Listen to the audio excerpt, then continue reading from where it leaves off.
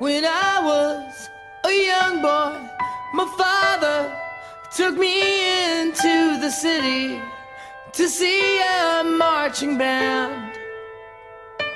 He said, Son, when you grow up, would you be the savior of the broken, the beaten, and the damned?